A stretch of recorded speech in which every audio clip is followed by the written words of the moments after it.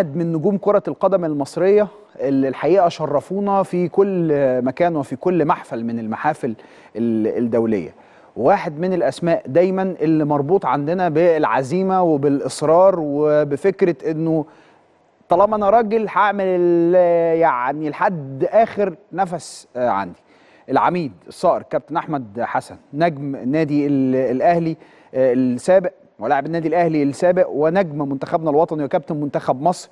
ولو إحنا كنا بقالنا أكتر من يوم بنتكلم استلهام الروح بتاعه مباراة مصر والبرازيل فواحد من نجوم الجيل ده طبعا الكابتن أحمد حسن. الكابتن أحمد مساء الورد واهلا وسهلا بيك.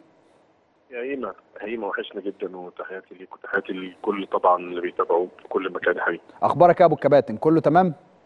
كله تمام والله الحمد لله. أنت وحشنا جدا و دايما بنستلهم دايما بنستلهم الروح الحلوة من من الجيل بتاعكم.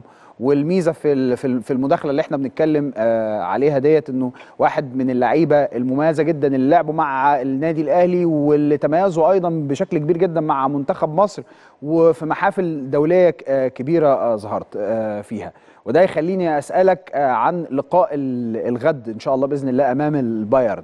ما هي التشكيلة المثلى للصقر للعميد أحمد حسن اللي ممكن يعتمد عليها بيتسو موسيماني إن شاء الله بص هقول لك على حاجة قبل ما أقول لك التشكيل طبعا يعني مهم جدا إن أنا أقول إن هو فخر لينا كلنا كمصريين طبعا النادي الأهلي بكرة بيلعب قدام بطل العالم. وأعتقد اني أعتقد اني زي ما قلت في الأول وفي الآخر في مباريات كده بتبقى للتاريخ.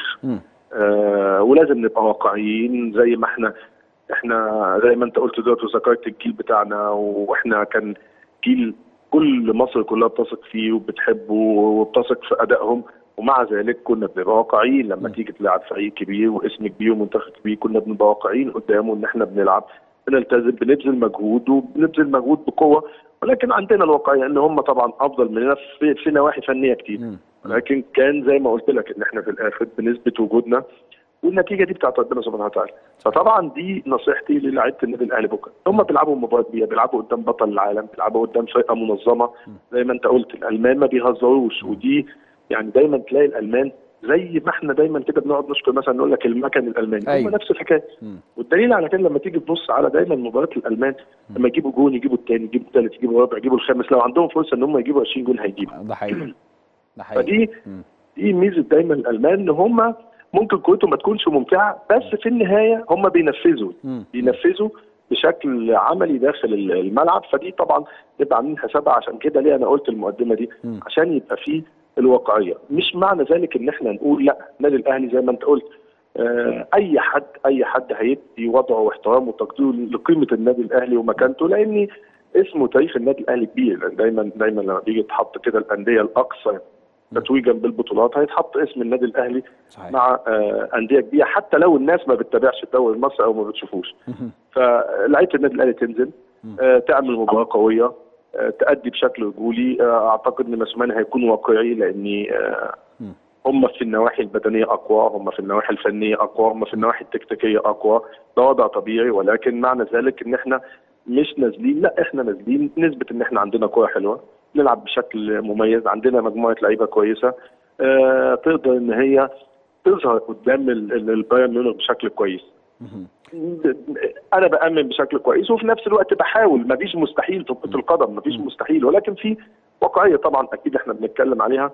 عشان كده دايما إحنا بنقول ان ان إن البايرن فرقة من الفرق فعلا المميزة وفرقة من الفرق القوية في كل خطوطها كمان بداية من حارس المرمى لحد المهاجم اللي موجود بكمان اللعيبة اللي بتبقى قاعدة على الدكة فأنا وجهة نظري أنا يمكن أنا قلت قبل كده مش عيب إن أنا كل مباراة ألعب على حسب الفرقة اللي قدامي. يعني أنا لو أيوة. قلت النهارده لعبت مثلا بليبرو واثنين مساكين قدامه. ده ما يقللش على فكرة من النادي الأهلي أو يقول مثلا إن ده إن إحنا معنى ذلك إن إحنا في حتة قلق وكده بالعكس إحنا خلي بالك نجاحات منتخب مصر أو النادي الأهلي كلها كنا بنلعب بالطريقة دي. والطريقة دي على فكرة ما بتقللش من عدد ال- ال- الفريق أو عدد المهاجمين أو الكلام ده وكده انت انت. أنت هتستخدم ال- ال- الطرفين آه، بشكل هجومي وبشكل دفاعي.